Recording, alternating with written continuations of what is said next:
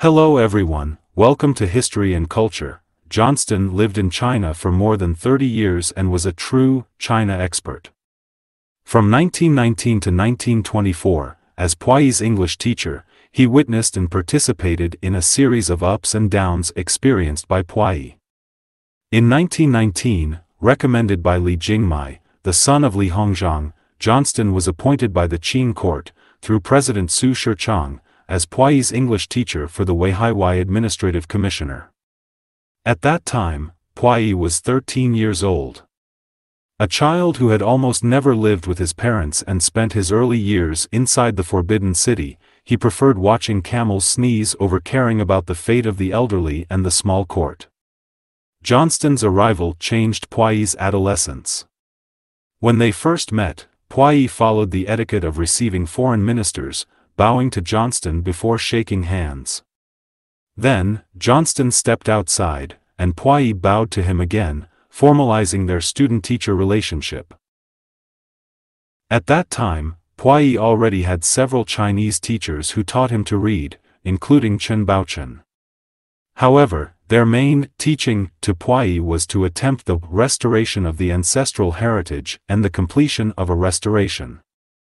Johnston was different. His blue eyes and blonde hair, initially unsettling to Puyi, became an important support and consolation. Puyi almost became Johnston's entire ideal. In his book, Twilight in the Forbidden City, Johnston referred to Puyi as my young dragon, expressing his hope that this dragon would truly soar with wings one day. Puyi, in his autobiography, From Emperor to Citizen, recalled, Chen Baochen was originally my only soul. However, since Johnston came, I gained another soul. Despite the long days and the influence of several elderly advisers who emphasized the desire for restoration, Johnston did open up a new world for the young ex-emperor, where he was not just a prisoner of the Forbidden City, a person without will. Johnston himself was fascinated by ancient Chinese culture, studying Confucianism and Buddhism, appreciating tea and peonies. However, he was eager to let Puyi understand Western modern civilization and the changing international situation. During classes, he often brought foreign magazines for Puyi to see, trying to familiarize him with airplanes and tanks depicted in them. One day, he brought a box of candies, explaining to Puyi how the beautiful tin box and the taste of fruit candies were produced using machines and chemical methods. Puyi couldn't comprehend these things, he grew tired of his teacher's words, took the candies, and went to the courtyard, wanting ants on the cypress to taste the flavor of chemistry and machinery. Johnston was very patient with his student, waiting until the end of the class. Johnston's gentlemanly humility and self-respect were in line with his desire to educate Puyi to become a gentleman. What Puyi remembered most, however, was the superiority of Western civilization in objects because of Johnston's influence. Due to Johnston, Puyi developed a liking for Western furniture and woolen fabrics, considering Western music superior to Chinese silk strings. Because Johnston, like many Westerners, mocked the queues of Chinese people as pigtails, Puyi decided to cut off his queue. Since the second year of the Republic of China, there had been suggestions within the Ministry of Internal Affairs to persuade those in the Forbidden City to cut off their queues. However, the Imperial Household Department always found various reasons to evade the issue. The teenage Puyi finally, despite the advice of his usual teachers, completed this small revolution. He ordered a eunuch to shave off his queue, but the eunuch dared not, so he went into another room and personally cut off his queue. In Puyi's history of personal independence, this was one of the few steps forward. His action brought tears to the imperial concubines, and some Chinese teachers were dissatisfied, especially those who couldn't stand Puyi following Johnston's propaganda. Puyi's haircut sparked a trend of cutting queues in the small court.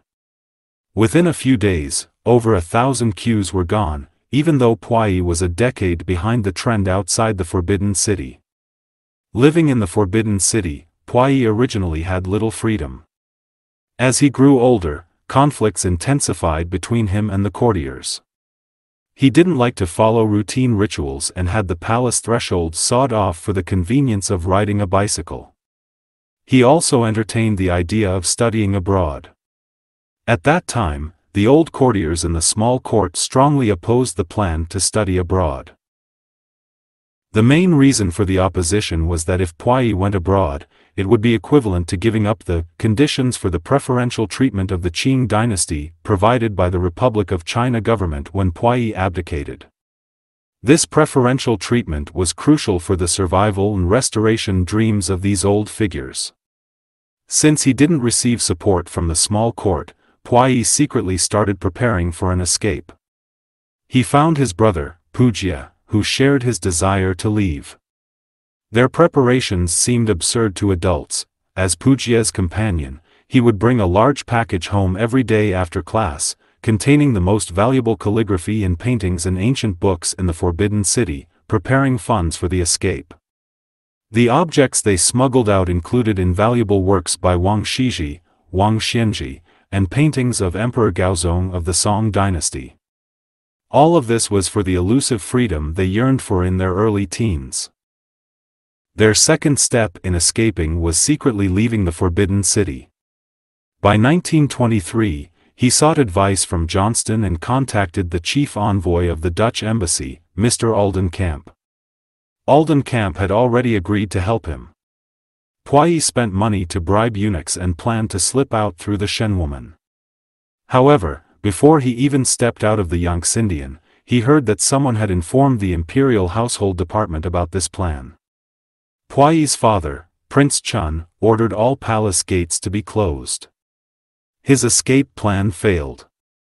For a long time, Puyi felt that the preferential conditions he received were shameful and preferred to give them up. He thought of Emperor Chongzhen of the Ming dynasty and felt pessimistic about the fate of the last emperor. In his teens, Puyi did not think about the issue of preferential treatment, he only wished for a peaceful life without the harm of rulers. It can be said that at this time, he had not completely abandoned the desire to become a commoner. However, he was constrained by his status and the surrounding environment, making it impossible for him to take that path. With no hope of escape, Johnston comforted his student to temporarily set aside the plan to go abroad and focus on reforming the affairs within the Forbidden City. Johnston had long believed that the decline and fall of the Qing dynasty were closely related to the cumbersome Internal Affairs Department, which he called the vampire of the Qing court.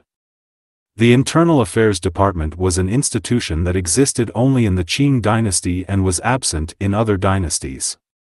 Its chief was called the Chief Minister of the Internal Affairs Department, and it was filled by Manchu princes, nobles, or Manchu ministers. By the Guangxu era, the Internal Affairs Department had various departments under its jurisdiction, making it an extremely large organization. The ministers of the Internal Affairs Department included several officials like Langzhong, Yuan Weilang, and Zhu Eunuchs also fell under the jurisdiction of the Internal Affairs Department. The ministers of the Internal Affairs Department acted as the emperor's stewards, having powers that other yamens could not obtain. However, due to the large number of people and the mixed responsibilities, corruption often occurred in accounting and property management. Johnston hoped to reform this outdated institution and reduce unnecessary expenses. He repeatedly told Puyi that the Internal Affairs Department had a motto, which was to maintain the status quo, making any reform impossible when it encountered this institution. Johnston's views on the Internal Affairs Department finally led to Puyi's determination to reform it. Puyi's first step in reform was to disband the eunuchs. In 1922, when Puyi was 16, Johnston reported to him that eunuchs were stealing and selling palace treasures on a large scale, and the situation was getting worse. Upon hearing this, Puyi decided to inspect his own property.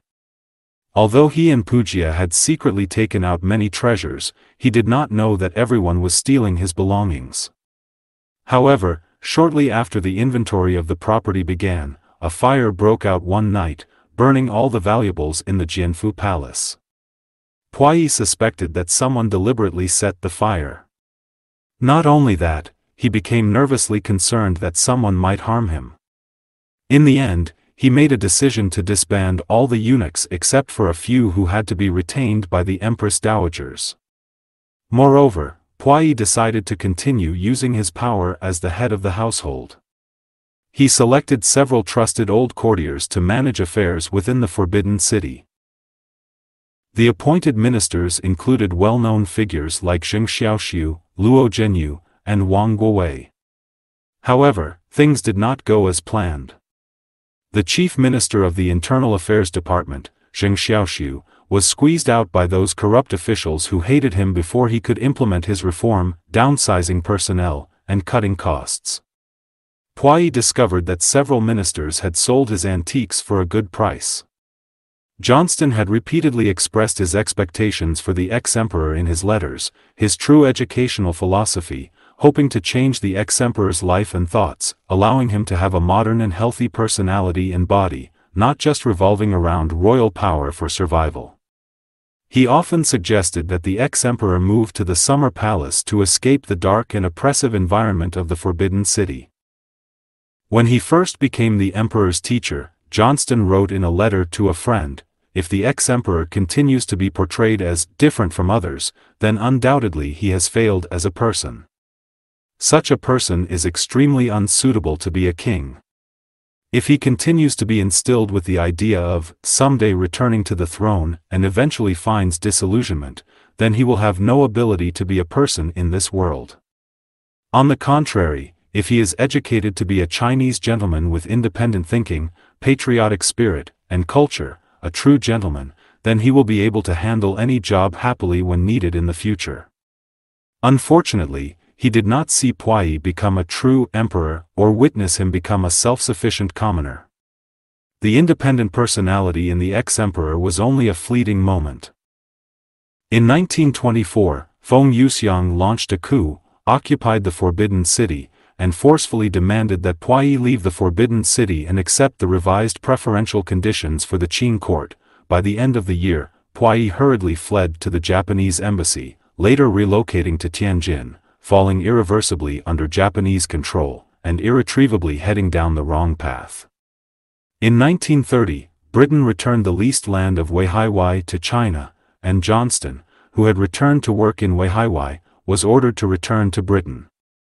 Before returning home, he went to Tianjin to bid farewell to Puyi. Puyi was reluctant to part with him and gave Johnston the last gift, a folding fan with two farewell poems transcribed on it. The emotional expression of such attachment and sadness for someone was rare in Puyi's life. In 1938, Johnston passed away in Edinburgh. In his later years, he bought a small island in Scotland, raised the flag of a Manchukuo, and filled the exhibition room with items Puyi had once given him, reliving his dream of being a former Qing courtier. In his heart, his student was still a person with integrity, enlightenment, and moral perfection. In the conclusion of Twilight in the Forbidden City, Johnston wrote, Those who truly understand the ex-emperor's character know that he will not enjoy his good fortune peacefully. He wants to enjoy it, and he wants his people to enjoy it as well. Clearly, Johnston's fantasy was ultimately shattered. This is History and Culture channel, like and subscribe are the biggest help and support for us, thank you everyone, see you next time.